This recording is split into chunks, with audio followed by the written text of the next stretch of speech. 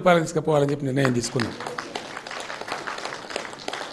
అయితే మేము సడన్గా నెక్స్ట్ డేనే ఐదు వేల రూపాయలు ఇవ్వమండి అట్లా మోసం కూడా చేసిన మాకు అలవాటు లేదు. ఇమీడియట్గా గవర్నమెంట్ వచ్చిన తర్వాత మొదటి సంవత్సరంలో దీన్ని స్కీమ్ అని నేను చెప్పినాను. మేము మొదలుపెట్టింది మొట్టమొదటి థౌజండ్ రూపీస్తో స్టార్ట్ చేసాం టూ థౌజండ్ సిక్స్టీన్ తెచ్చాం. It's a scheme. ఈ స్కీమ్ కూడా ఇప్పుడు ఏంటంటే నెక్స్ట్ ఇయర్ ఇమీడియట్గా నెక్స్ట్ ఇయర్ మార్చ్ తర్వాత మూడు వేల రూపాయలు చేస్తాం. రెండు వేల పదహారున దాన్ని మూడు వేల రూపాయలు చేస్తాం. ప్రతి సంవత్సరం ఒక ఐదు వందల రూపాయలు పెంచుకుంటూ ఐదవ సంవత్సరం నిండే నాటికి ఐదు వేల రూపాయలు తీసుకెళ్తాం. ఇది స్కీమ్ యొక్క డీటెయిల్. ప్రభుత్వం మీద ఒకటేసారి భారం పడదు. ఆర్థిక భారం వాళ్ళు కూడా పెరిగిన కొద్దిగా సంవత్సరానికి ఇంత పెరుగుతుంది కాబట్టి అది క్రమేణా ఐదవ సంవత్సరం నిండే నాటికి ఫైవ్ థౌసండ్ రూపీస్ తీసుకెళ్తాం. ఇప్పుడు ఆంధ్రప్రదేశ్ గవర్నమెంట్లో కూడా అక్కడ ఉన్న ప్రభుత్వం జగన్మోహన్ రెడ్డి గారు సక్సెస్ఫుల్గా ఈ స్కీమ్ని టూ థౌజండ్ రూపీస్తో పాటు మాతో పాటు స్టార్ట్ అయ్యారు. చివరికి వచ్చేటప్పటికి ఇప్పటికి త్రీ థౌజండ్ రూపీస్ తీసుకొచ్చినారు. చాలా విజయవంతంగా అక్కడ ఇంప్లిమెంటేషన్ జరిగింది. అదే పద్ధతిలో ఇక్కడ మేము కూడా మూడు వేల రూపాయలు ఇమీడియట్గా చేస్తాం. అంటే మరో వెయ్యి రూపాయలు పెరుగుతుంది. అది క్రమంగా రా సంవత్సరానికి ఒక ఐదు వందలు పెరుగుతూ పోతుంది. మిగిలిన నాలుగు సంవత్సరాలలో అది ఐదు వేల రూపాయలకు చేరుకుంటుంది.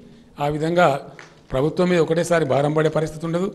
ఎట్లా ఎట్లా ప్రభుత్వం ఆదాయం పెరుగుతుంది కాబట్టి ఆ రకంగా దీన్ని చక్కగా ఇంప్లిమెంట్ చేస్తామని చెప్పి నేను ప్రామిస్ చేస్తూ ఉన్నాను.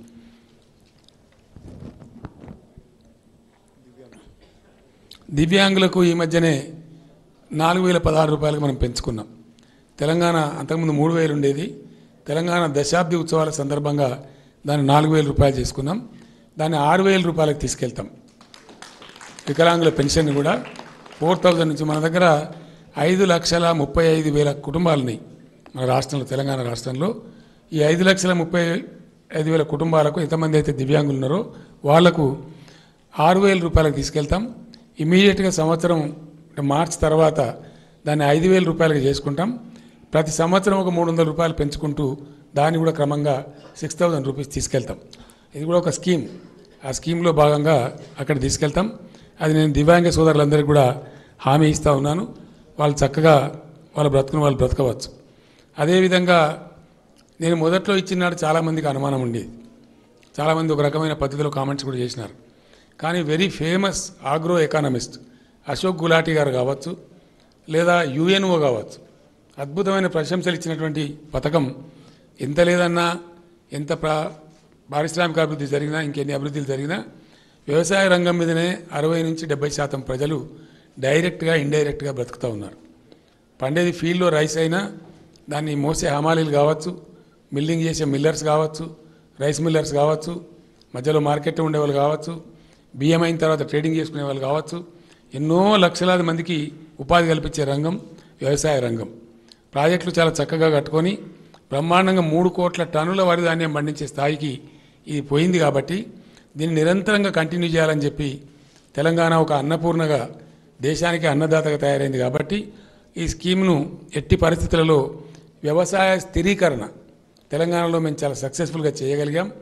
ఆ స్థిరీకరణ యథావిధిగా కొనసాగుతూ మోడర్న్ అగ్రికల్చర్ టూల్స్ అవన్నీ కూడా ఇంకా సమకూర్చుకుంటూ ఇంకా ఉత్పాదకతను పెంచుకుంటూ అద్భుతమైన వ్యవసాయ రాష్ట్రంగా తెలంగాణ వెలుగొందాల్సిన అవసరం ఉంది. దానికోసం ఏదైతే రైతు బంధు మేము ఇచ్చినామో దాన్ని కూడా స్కీమాటిక్గా ఒకటేసారి పెంచడం కాకుండా రైతు బంధు పథకం ఈరోజు పదివేల రూపాయలు ఉంది రెండు పంటలకు కలిపి. దాన్ని కొంచెం పెంచాలని నిర్ణయించినాం. దాన్ని పదహారు వేల రూపాయలు తీసుకొని పోతా ఉన్నాం. ఇది కూడా ఎట్లా అంటే మొదటి సంవత్సరంలో ఇమీడియట్గా పన్నెండు వేల రూపాయలు పెరుగుతుంది. అది ప్రతి సంవత్సరం కొంత పెరుగుతూ ఫిఫ్త్ ఇయర్కి వెళ్ళేటప్పటికీ పదహారు వేల రూపాయలకు చేరుకుంటుంది. అది ప్రభుత్వం మీద కూడా పెద్ద భారం ఒకటేసారి రాదు. అఫోర్డబుల్గా ఉంటుంది. కాబట్టి ఆ రకంగా రైతు బీమా పథకాన్ని పన్నెండు వేల నుంచి మొదలుపెట్టి రైతు బంధు పథకాన్ని పన్నెండు వేల నుంచి మొదలుపెట్టి పదహారు వేల వరకు తీసుకెళ్ళి ఒక పటిష్టమైనటువంటి వ్యవసాయ రంగం ఉన్నటువంటి రాష్ట్రంగా స్థిరీకరించబడిన వ్యవసాయ రంగం ఉన్నటువంటి రాష్ట్రంగా దీన్ని తీర్చిదిద్దాలని చెప్పి నిర్ణయించుకున్నాం.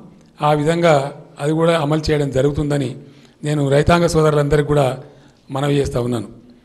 అర్హులైనటువంటి మహిళలకు నెలకు ఒక మూడు వేల రూపాయల భృతి గౌరవ భృతి ఇవ్వాలని కూడా నిర్ణయం తీసుకున్నాం. ఆ విధంగా మహిళలు ఎవరైతే ఉంటారో అర్హులైనటువంటి వాళ్ళు బీపీఎల్ ఫ్యామిలీకి సంబంధించి అంటే ఐటీ జిఎస్టీ కట్టే వాళ్ళు ఇంకా రకరకాల గవర్నమెంట్ ఎంప్లాయీస్ వీళ్ళందరినీ మినహాయిస్తే ఆ దానికి మార్గదర్శకాలు ఉన్నాయి. దాని ప్రకారంగా అర్హులైనటువంటి పేద మహిళలకు నెలకు మూడు వేల రూపాయల గౌరవ భృతి కూడా ఇవ్వాలని చెప్పి నిర్ణయించుకున్నాం.